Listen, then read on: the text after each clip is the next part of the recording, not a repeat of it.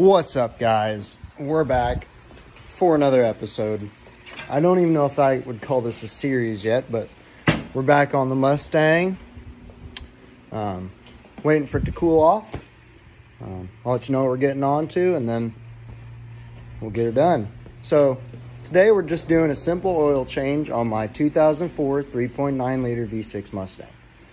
Nothing real crazy, but I just figured there's a gazillion tutorials out there, and I feel figured I'd make it a gazillion in one.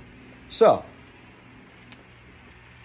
let's get on to it. Uh, I have to wait for my car to cool down, but while it's cooling down, I'm going to give you some background information. You know, maybe I can help you figure out what kind of oil you should use, or if you really need to be changing your oil so soon. So, let's get on it. So, the oil I chose is this Valvoline uh, high mileage 5820 synthetic blend and I just got a Fram filter. Um, I didn't. I'm not really too choosy when it comes to filters. I just try to make sure that they've got good mileage protection, right there, maybe. Um, synthetic oil, we got synthetic blend. It's good enough. Um, it's got a seal gap, whatever, and superior dirt holding cap capacity. Whew, that was a mouthful. But the reason I chose this oil is because I know I can trust this brand. And by that, I don't mean, oh, I love Valvoline, I use it every time. I actually, I usually use, um, oh, what is it? I'm going to forget now. Pennzoil. That's my preferred brand is Pennzoil. I usually get Pennzoil 5 weight 20. It's my lawnmower. Pennzoil 5 weight 20. Uh, synthetic blend, high mileage. Or just non-synthetic, full non-synthetic, either one. However, I chose this one because I went to Walmart. I wasn't able to get any from the parts store before I left for back home. And that's what that's what I could find. So I have run full synthetic in my car before. However, it is an older car. It's got 186,000 on it. Um, it's from 04, and it has a lot of little itty bitty leaks, little probably little gasket problems, maybe my oil pan, my valve covers, whatever. So here's where your science lesson comes in. So a conventional motor oil, just non no synthetic, the molecules in it are very big. They're big and they're not all the same shapes. So what that does is that kind of plugs up those little pinholes um, or your leaks, or they're too big to even get through. So you, you won't leak as much oil. It's probably not as good for your engine, but you won't leak. On the other side of the spectrum, you have something like a really, really fancy oil, like full synthetic royal purple. Royal Purple is amazing for new cars. It has tiny little molecules that are all the same size and they all slip by each other perfectly. So if I had a 2021 GT500, I'd run Royal Purple. However, I don't. I have an 04 V6 that's got oil leaks galore. And I don't have the money to fix them. So instead, I'm using a synthetic blend, which has a little bit of a little bit of best of both worlds. It's got some bigger molecules from the from the non-synthetic, and it's got some smaller molecules from the regular synthetic, so it's not going to leak as bad, but it will still have some of that synthetic properties where it's going to run a little better, it's going to flow a little nicer, because those molecules, a lot of those molecules are still the same shape. So, that being said, I also chose a high mileage because my vehicle is very high mileage. Um, and I got 5 weight 20 because that's what it's rated for. So we can get into the 5 weight 20 meeting later. But right now, I'm going to get into the filters. So this right here is my filter. It's a Fram, From, Fram, Fram. I just realized my camera's backwards, so it looks like Marf for you guys. But um, I got this because um, I knew what size it was because usually whenever you're getting oil, there's a little booklet that you can choose, that you can look through and find what you should be using. So I knew that my um, Pennzoil, or no, my K&N filter. It's not K&N. I can't remember what filter I usually use. The filter I usually use is a 36 is a is a it is XS no it's XL 3600. That's what the brand is or that's what the designation is. However, I couldn't find my brand that I usually use that I'm going to forget about. So I was like, hmm, maybe there's a book, and there was. So I looked through it, found this. Guess what? It is 3600. You can't read it because it's backwards but it is a 3600 and it's what fits mine. So if you have a 3.9 or a 3.8 04 Mustang, probably would work for 99 to 04 V6s. You should probably run Try and at least, don't just put it in there. Check first, but I bet this would work for you guys. But that being said, a lot of companies now are doing, I believe, this little QR code shows you what it fits. I'm not brave enough to try it yet, so I can try it later and let you guys know how it works. But that's that's how I chose my oil and my filter. Um, so a lot of times people say you have to change your oil on the dot 3,000 miles. That's not necessarily true. And no, for you guys out there who are saying, "Oh, well, mechanics they're just they're just wanting us to come in every 3,000 so they can make more money." That's false. And it makes me upset when people say that. And I'm about to tell you why. So when a, when a mechanic changes your oil, and he's going to put a little bit of this, usually it comes from a big tank on a wall or and they're going to put a filter that they get in bulk. The problem is is that it is not going to make them hardly any money. In fact, most shops lose money on oil changes. They're not trying to get you in to change your oil to steal your money. That's dumb. They're going to lose money on your oil changes nine times out of 10. And before I get any people in the comments saying, oh, you're dumb, you don't know what you're talking about, I'm literally, I'm literally in classes to learn how to be a mechanic and to run my own shop. So you can go talk to my professor. I'm not going to tell you his name because that'd be rude. But you know, if you got a problem with that, you got a problem with my professor. And if you got a problem with him, you got a problem with me. And I suggest you let that one marinate. That's a reference. So, they're not trying to steal your money through frequent oil changes. They're really just trying to look out for you. Unless they're a really crappy shop, and we're not even going to talk about that. They're not real shops. Those aren't real shops. So, oh yeah, also, you guys want to judge my wiring job? That's okay. It's crap, and I haven't cleaned it up yet. So, I got some cool underglow under here. So, yeah. So, your frequency depends on the oil you choose and the filter you choose. I still try and keep mine within the 3,000 range, even though oftentimes I'm running 5,000 mile oil and 5,000 mile. Sometimes I even run 10,000 mile oil and 10,000 mile filters. I still haven't chosen my favorite. I err on the side of caution because this is my daily. I have to drive it to and from school every day, and I drive home most weekends, and that's a two and a half hour drive. I'm just trying to keep it up to date. I'm a little bit, I've gone a little bit over on this oil change. It's going to be fine. Don't worry. I'm not going to die, probably. So, that being said, if you're really worried about your car, you need to change it 3,000 miles, that's fine. However, just know that if you go to 3001, you're not going to die. And more than likely, most most engine oils are all right with going five, sometimes, now don't, don't quote me on this, but five, sometimes even 10,000 miles. I wouldn't be that bold. That's pretty, that's pretty, uh, it's pretty ambitious, but it is possible. I'm also right in front of my light. So, I wonder if my engine's cool down. Just kidding, I didn't burn myself. Probably. All right, so I'm gonna go ahead and jack my car up. I'll show you what points I use. Let's get her done. All right, so I usually have a little bit of a dilemma. My car is stock height, but it does have this little this little guy I put on here. It's a little Mach 1 chin spoiler. What that does is that means that my jack, my floor jack, can't fit under there quite as e ooh. Ooh. Can't fit under there quite as easily. So I'm left with a bit of a dilemma. Sometimes I put boards underneath my tires, sometimes I don't. I forgot to do it this time. So I'm going to show you what I'm going to do to make it a little easier.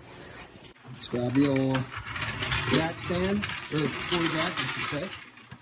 So here's a little pro tip for you guys if you have neighbors who aren't very nice and you have gravel driveway, go ahead and just roll this bad mamma jamma down the driveway at, at 6 a.m.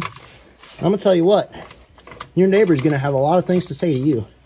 So like it maybe if you're lonely and you're just looking for a friend. So so here's what I'm doing. This right here is my it's got a dent in it. Holy crap. This is my subframe. Um, I want to get full-length subframes, but I don't have them right now. So I'm just going to jack up one side, making sure to not hit my cat, is right there. So we're just going to lift that up. I'm going to have to set you down for a second. Maybe. No, I'm just going to be a man. Woo! This is difficult. All right, I'll be right back. All right, so we're going to release the jack. Nice and easy.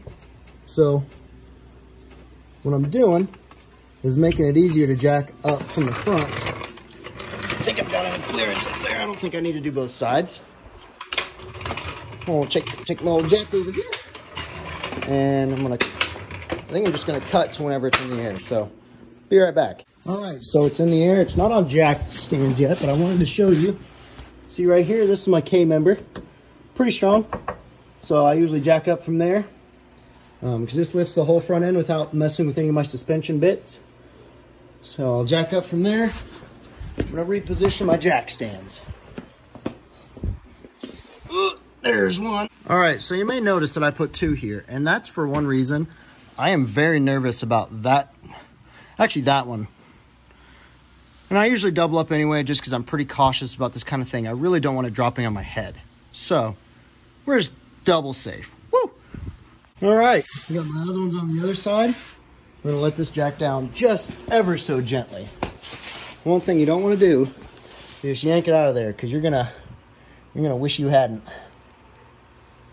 Maybe if I'm man enough. Let's see if I can be a man. Nope, I can't be a man. All right, I'll be right back. All right.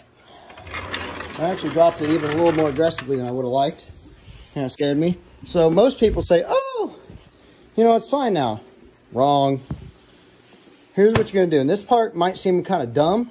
This is very smart, actually. You're gonna take a car, and you're gonna you're gonna just jerk it all around. You're gonna think, oh, what are you doing? You're gonna drop it. Well, I'd rather it drop on nobody than it drop right on my head and turn my head into one of those hydraulic press pumpkin videos. Yeah, the inside of my car is dirty. Don't judge. So, got the car in the air. I'm gonna do a few things. I'm gonna take my car and I'm gonna make sure my wheels are nice and tight. Make sure there's no up and down or side to side play. That's all right. Let's check the other side. I know you guys are probably missing seeing my beautiful face. See that? That's tight, up and down. Tight. Now, I do have a big old chunk taken out of my wheel. That's just from, we're just not gonna look at that. That That's from a, uh, uh oh, that's from a oopsie. So, now that that's there, we're gonna go ahead and move on. All right, engine is still whoo, pretty toasty, and I don't really feel like, you know, burning my hands off. You won't burn your hands off, that's a bit of an exaggeration. But I remembered what kind of filter I used to use. That's one of these bad boys, STP. I still don't remember what I was saying earlier, but STP, it's an STP 3600, S3600. Um, this is just, this is 5,000 miles. I have gotten the more expensive one before, I don't think I kept the box though. I usually try and keep at least one of the boxes so that way I can remember. My memory's not that great. Where'd those shelves go? I don't remember that being gone. Um, so I got distracted. So I've checked my my wheels, make sure they're still tight. There's something on my air filter, but I'm not going to think too hard about it. Um, check my overflow tank, make sure it's good. Hold on overflow tank. We still got some coolant in there. Here's a fun fact that I want you guys to know. If you're ever dealing with coolant, here's what you need to do. You might think, oh, it looks, I feel the cap. The cap feels pretty cool. Well, you're going to get hurt if you just yank it off there. So what you do is you come here, you squeeze that. If you can't squeeze it pretty, pretty together easily, that, see, you're not looking for temperature there. You're looking for pressure. Because these things are pressurized, highly, highly pressurized. So if I were to just rip that cap off, it would still shoot hot coolant all over me and all over this, all over this garage, all over my car, all over my beautiful, not gross cover. Look at the dirt all over everything. And I don't want that because I don't like getting burned and I don't think anybody else does. So we're just going to wait a little bit longer. All right. So I was looking through the first parts of this video, so I realized you guys are looking at my nostril all the time. So I'm not to make you do that anymore. That's gross. I also don't know where I put my keys. So, I'm to have to pop the trunk from inside the car. Yeah, don't judge. The car's pretty dirty. Oh, there, there's my keys. Yeah, so I came home for Chris or for Thanksgiving break. I kind of usually bring home all my stuff, so uh, I'm not to let you see the inside of my trunk. I can't even get my key in. There's so much dust. Hold on. All right, got my tools show you what I'm going to be using today. So, I got my Kobalt. I actually don't think I even need to undo those clips. I got my wrenches. Yep. Well, looks like I'm getting out all of it. There we go. I think it's a 13. I'm not 100% sure, but I think it's a 13. No, it's a 14. Yeah, what the heck. Grab both. Okay, you're gonna need some wrenches. No, I left my oil filter, filter wrench over here. All right, you're gonna need one of these. It's an oil filter wrench. I'll show you how to use it. Um, there's my, there's my creeper out. So, now kids, this is the only kind of creeper you should ever use. One of these. I don't want to hear about you guys being creepers, and I don't want to hear about you guys having creepers. But if you have a creeper, let an adult. I'm, I'm not going to get into that. So, that's pretty much the basic tools you need. It's not really that big of, an, of a deal. You don't need a whole lot of tools. You don't, you know, I don't need a, say, $6,400 tool chest to do an oil change. That's an inside joke from my State Tech homies. But, ain't she a beaut? I love this car so much. Anyway, back to the point. I think we're pretty much ready to start at it. Yeah, you guys want to judge my wiring job? Go ahead. That's pretty bad. Um, yeah, let's do it. All right, we're gonna go ahead and shimmy shake on under the old car. I know it's pretty oily, but it's all right. It serves its purpose to show that one, I really probably didn't need a creeper because it's pretty tight still under here. And what? What size is this? 14, 13. Uh, uh, did this thing already drip? That is, uh-oh. Is that red? You know what? I'm not, I hope that's not transmission fluid. All right, looks like it's back out. We're gonna, oh, I'm gonna grab a 15 and I'm gonna not use a crawler this time, or a creeper. Why is it a 16? Why is it not, oh. My luck, my luck, my luck. Ooh, that's dusty. It's probably because my I use my Mustang as a stinking rally car. It's gonna be one of those days, man. I'm telling you. one of those days. All right, back under. I probably should have stopped recording, but I didn't really feel like hitting the button. It's too much effort. And this is why I wore coveralls today. Anyway, I'd be underneath this nasty girl. So, we're to see if this 15 fits, and if it doesn't, I'm probably to cry. It's pretty loose, but it'll do. All right, I think I'm to, yeah, let's, let's get her done.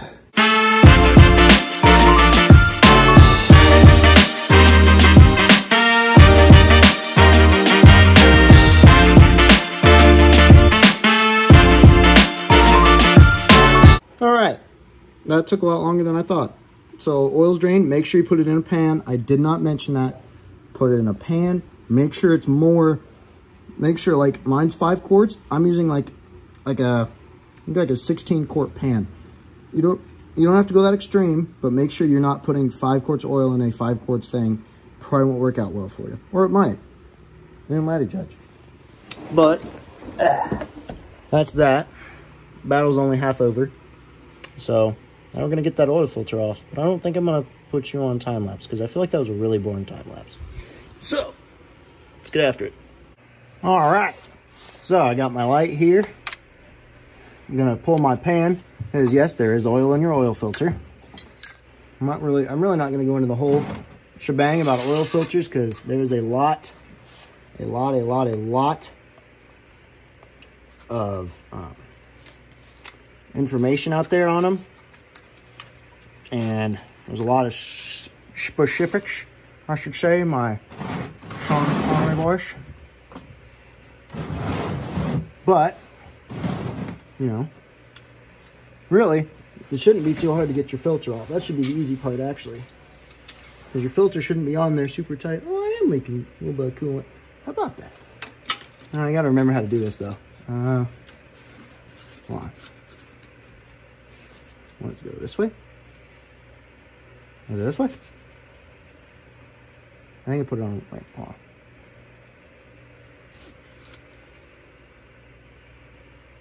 No, I'm going right way.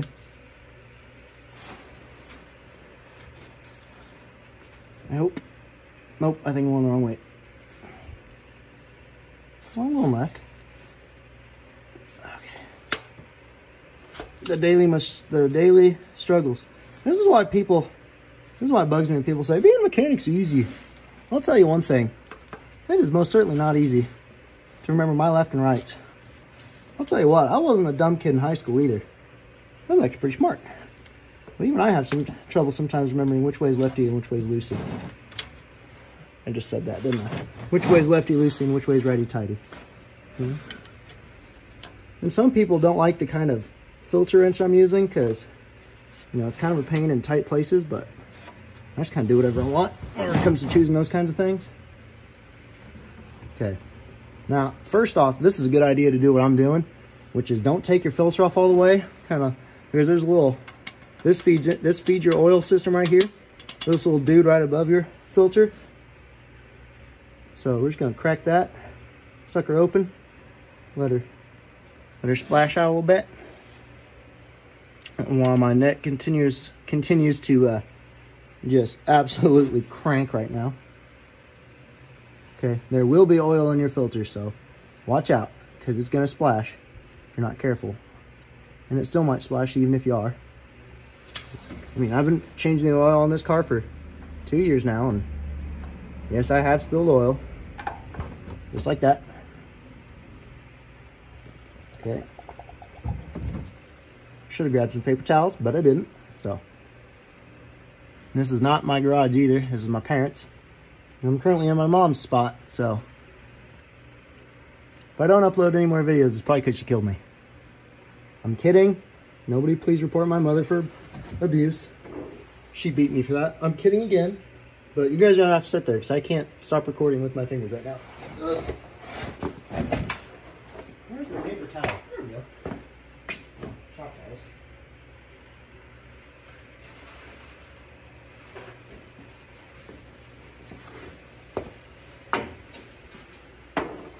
Ah, there we go.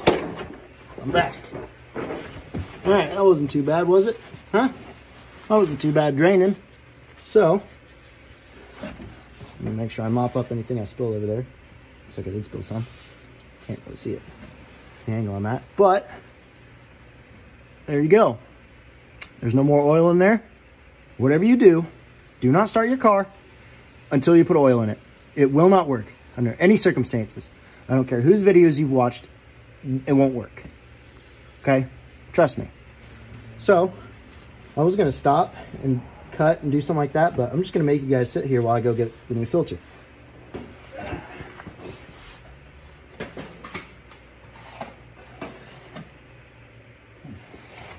Oh, I just popped the crap out of my hip. All right, so here's the number one thing you have to make sure whenever you do this.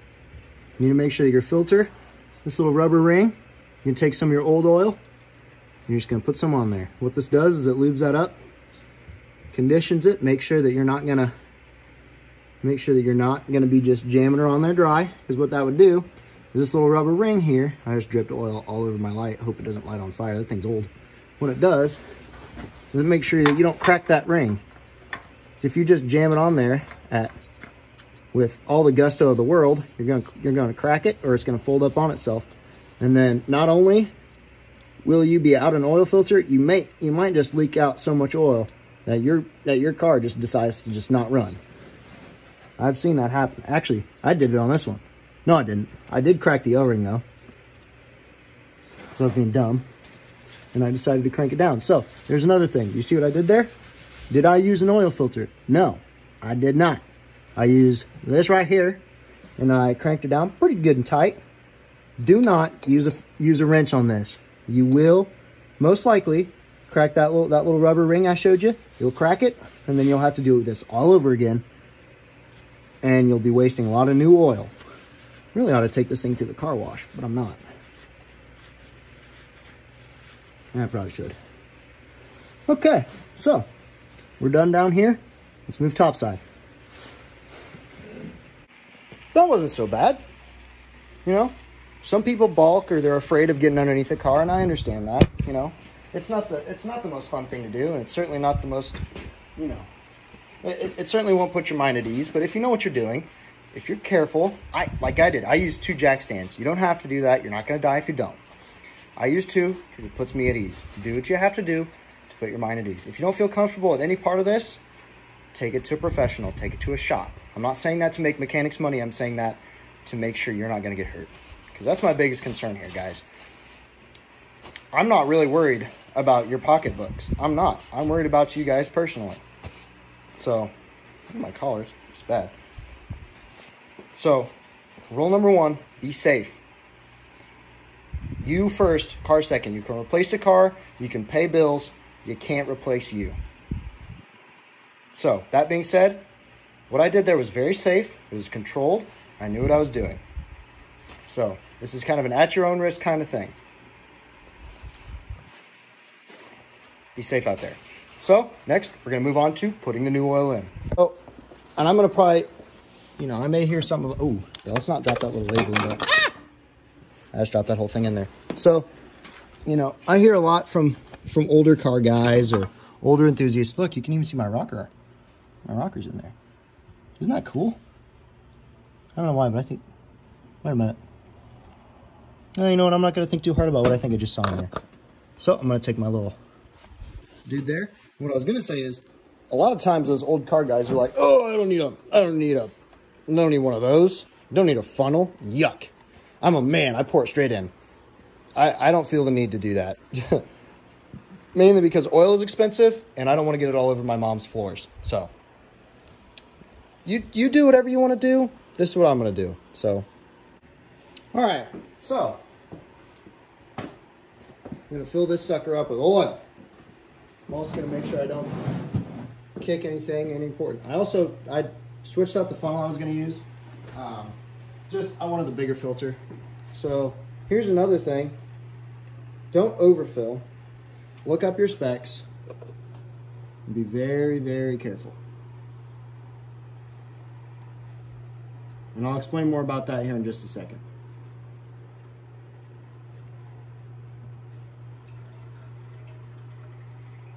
I don't think I've ever heard that before, actually.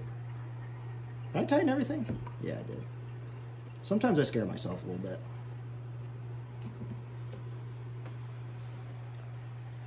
We'll let that finish pouring. Okay, there we go.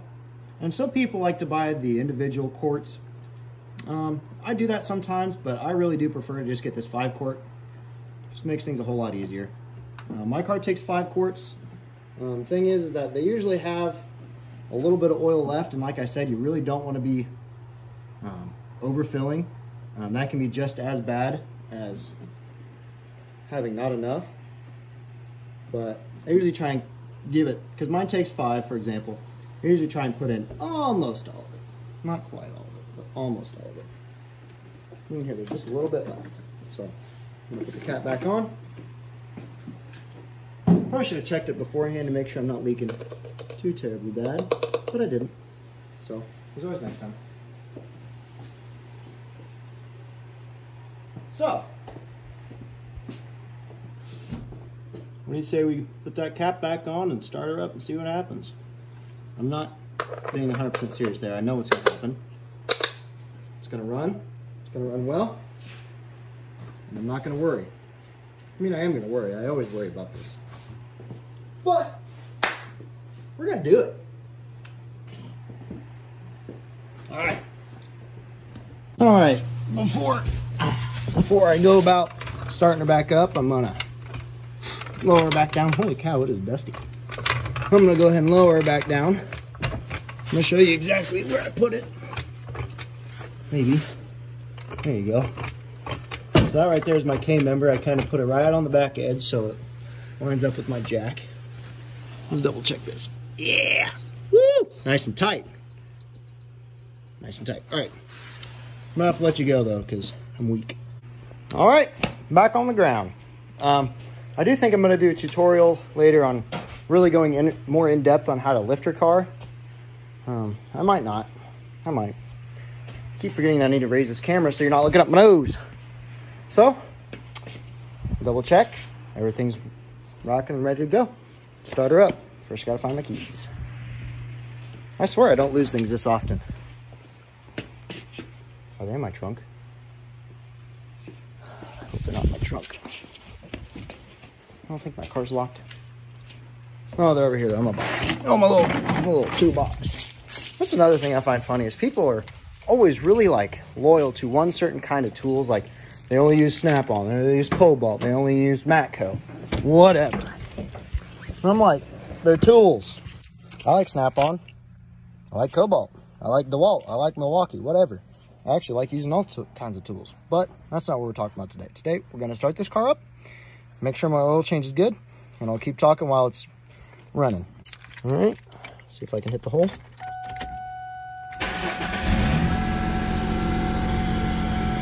All right. So may sound that may sound like it's idling pretty low, but I'm gonna check underneath, make sure there's no drippy drippy.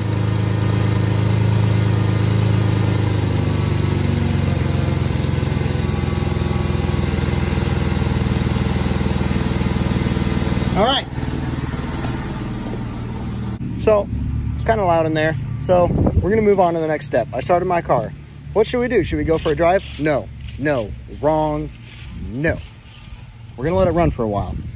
And the reason is because engines don't just shoot oil straight into all their oil passages right away. So we wanna let that new fresh oil, that mm, golden oil, got dirt on my phone, that new fresh oil let it work itself in, let it run through the filter, just let it get into the engine nice and good. We're gonna let it run for a few minutes, and we're gonna take it for a drive. I might bring you guys with me, I'm not sure yet. But I'm gonna let the oil fill in, let the filter get filled up. Some people prime their filters, which is where you put oil in your filter before you screw it in, which I've never done. It doesn't really make much sense to me because usually filters will have a bypass valve which is just a fancy way of saying that it won't shoot oil through your filter until the engine's ready for it. Um, it keeps your engine from not running with oil for a few seconds, because uh, that'd be bad. So, anyway, that's my that's my personal take on pre-filling or priming your filter. But that's beside the point. We're gonna let the old Mustang get warmed up. Gonna let it work the oil in. Um, sounds like it's idling pretty normally right now, but we're gonna let it sit for a few more minutes. Um, gonna drive a little bit, make sure everything's good, and then I'll send you guys on your way. All right, we're gonna let her sit there for a little longer, but I'm gonna get the garage cleaned up. I'll let you guys watch, um, just because I'm bored. So, all right, I think it's time for a test drive, so let's do it. All right, I'm not gonna drive too long because I really don't want to get in trouble for driving with a cellular device is I don't have a phone stand for my car yet. Or maybe I won't ever, I'm not sure. But I'm gonna put my windows up so you guys can hear me a little better. Probably gonna die of heat stroke. check, right, left, right, or is it left, right, left? I never remember.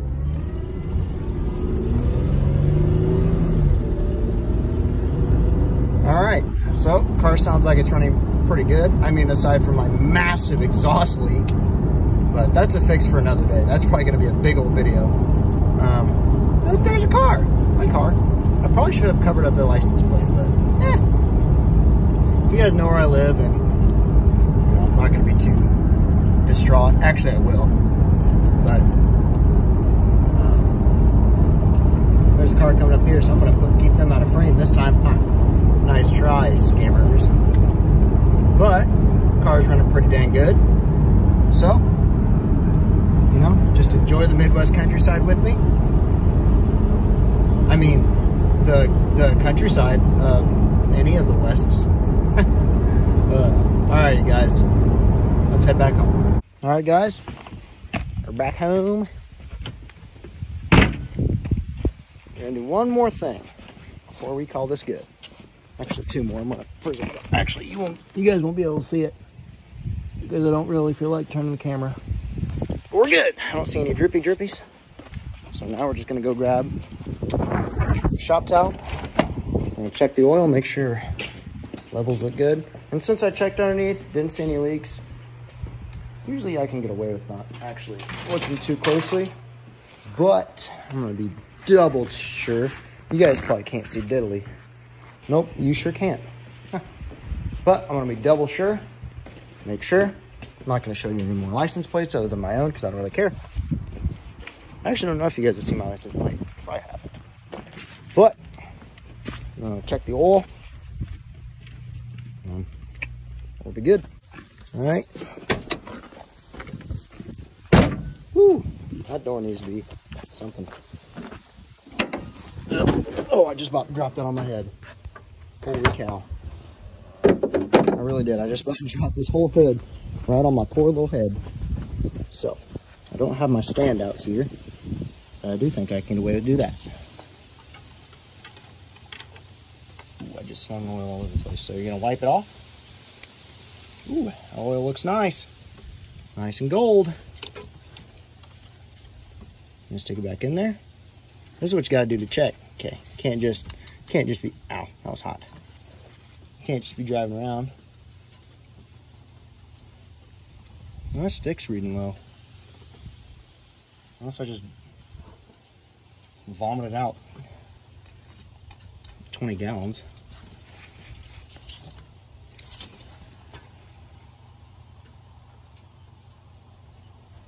Well, I'm pretty sure my dipstick's reading off, but you get the gist of it. Check your oil, make sure you got some. Make sure you got some. Hold on. Hold on. Make sure you got some. Be safe. If you guys try this at home, be safe. Um, if you're not comfortable doing it, don't do it. Have somebody else do it. Don't forget to like, subscribe. You guys have a good rest of your day. See you next time.